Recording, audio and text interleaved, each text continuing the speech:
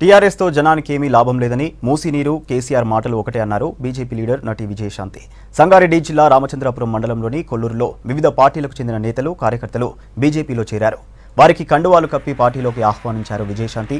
కేసీఆర్ కుటుంబం మొత్తం తెలంగాణను దోచుకుంటోందని ప్రజలను కలిసే పరిస్థితిలో కూడా కేసీఆర్ లేరని అన్నారు.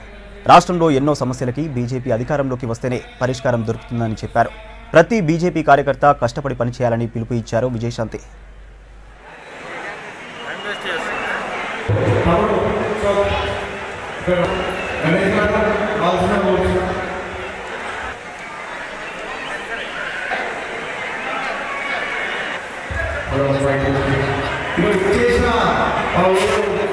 రాష్ట్ర నాయకులు సతీష్ గౌడ్ గారిని వేదిక అలంకరించాల్సిందిగా కోరుతాం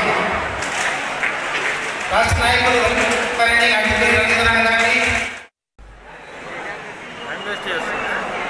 నాయకులు గారిని అడ్డు రవీంద్రనాథ్ గారిని